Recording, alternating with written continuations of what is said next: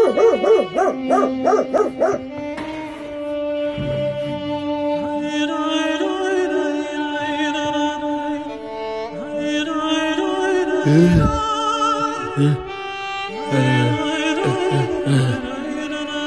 uh, uh.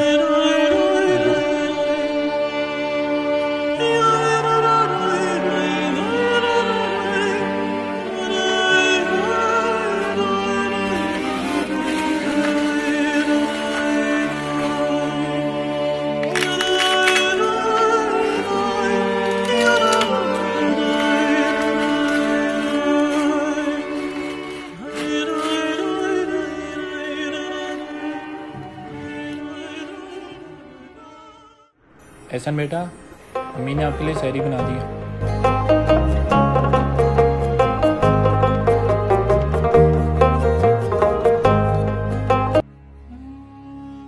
ये क्या बना दिया है? ये इस तरह की रोटी कौन बनाता है?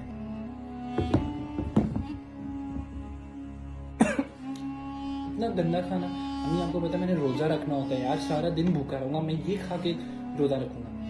रहने दे, मैं बाहर से कुछ ऑर्डर कर लूँगा। नहीं खाना।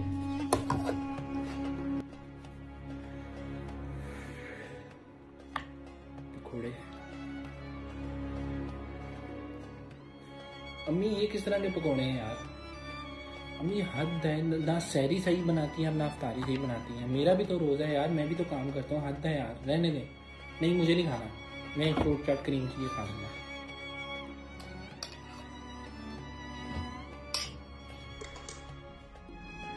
इस वीडियो के ज़रिए सिर्फ़ तीन मैसेज दिए गए हैं। पहला ये कि अल्लाह का लाख लाख शुक्र अदा करें कि आपको रमज़ान शरीफ नसीब हुआ है। दूसरा ये कि आपके घर में आपकी माँ, बहन या कोई भी खातून रोज़े की हालत में आग के सेक के आगे खड़े हो गए, अगर आपके लिए अफ्तारी बनाती हैं तो उसे अल्लाह का शुक्र अदा करके खाएँ। तीसरा और आखिरी ये कि आपकी बनी हुई अफ्तारी या खाने को ज़ाया मत करें, क्योंकि हो सकता है किसी की भूख आपकी वही अफ्तारी या खाने का इंतज़ार कर रही हो।